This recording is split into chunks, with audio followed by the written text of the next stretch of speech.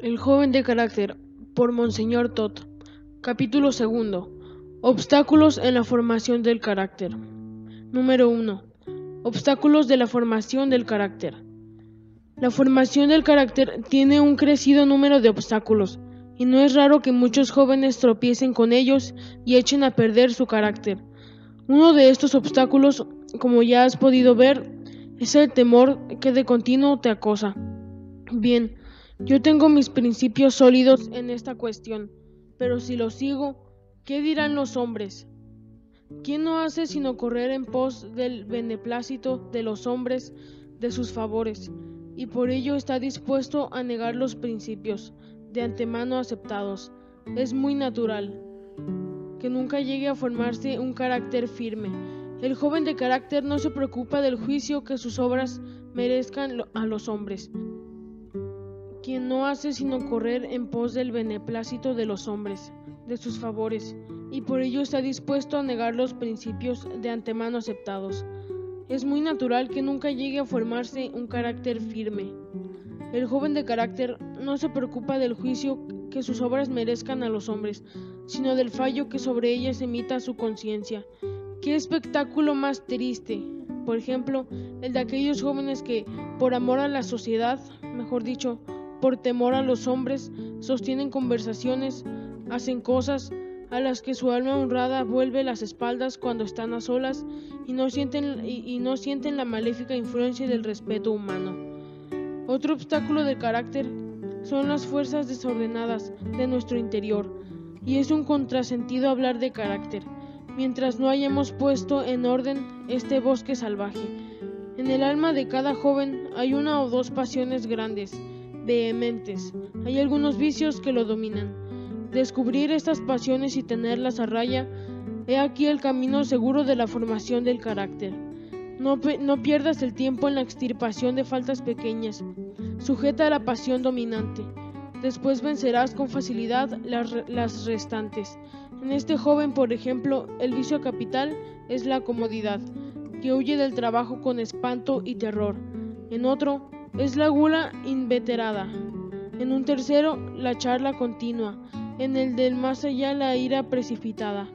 O el amor propio exagerado. La testarudez.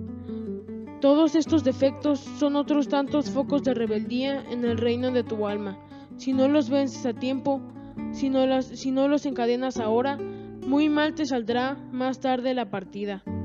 El obstáculo más peligroso en la formación del carácter es precisamente la marcha lenta.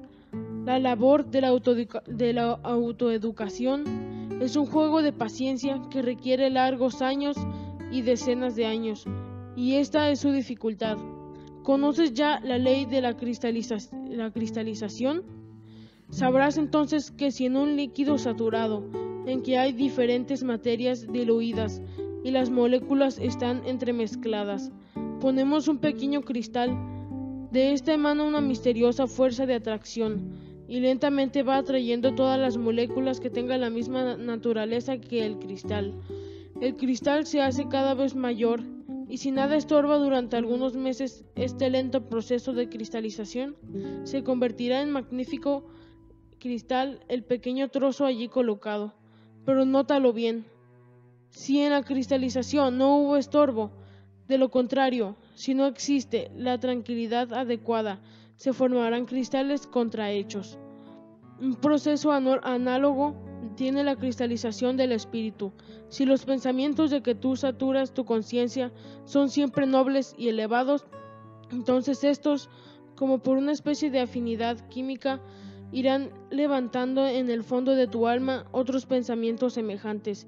Y si en los lustros de tu juventud prosigue en ti este estado, los buenos anhelos formarán un cristal voluminoso que obstruye el camino a todo pensamiento extraño y no permitirán que llegue a prevalecer una tendencia aviesa. En el líquido saturado del alma humana van arremolinándose también las moléculas del mar moral. Hay jóvenes que durante los floridos años de su juventud pusieron estorbos con reiterados tropiezos a la cristalización tranquila de la bondad de su alma.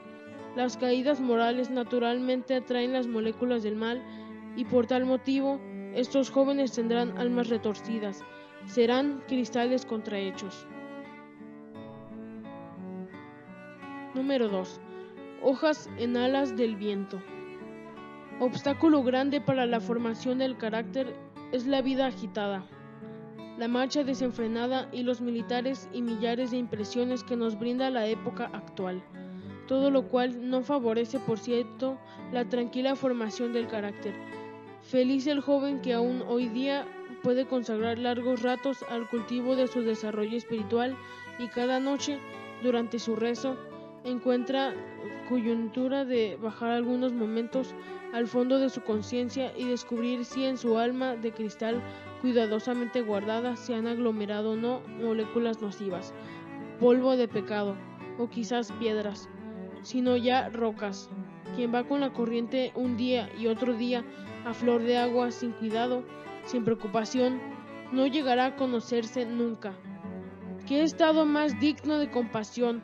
Son innumerables los estudiantes de hoy que conocen las regiones de Alaska y saben recitar sin una falta los ríos que desembocan en el Yangtze-Kiang, y sin embargo no conocen su propia alma, porque si la conocieran, se espantarían de la selva tupida que forman la hiedra y la enredadera, chupando la savia vital, y por donde corren en tropel las fieras sanguinarias de las pasiones sin freno, fieras que llegan a destrozar en sus árboles la vida que se despliega.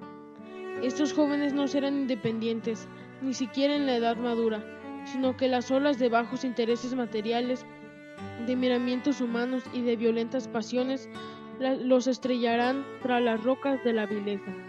Como el viento cortante de noviembre remueve por millares y millares las hojas de los árboles, muertas, secas, caídas. Hojas en, las alas del viento. Pobres almas, estos, jóvenes ya hombres serán como trozos de madera que arrojados en impetuoso río son arrastrados por la corriente del agua, sin saber por qué ni dónde. Serán como corderos que a centenares corren sin tino ni concierto, detrás de su guía que lleva el cencerro. Serán como la veleta en la cúspide de la torre, volviéndose acá, girando allá, sin saber cuáles son los vientos que los muevan. Hojas en las alas del viento, Pobres almas,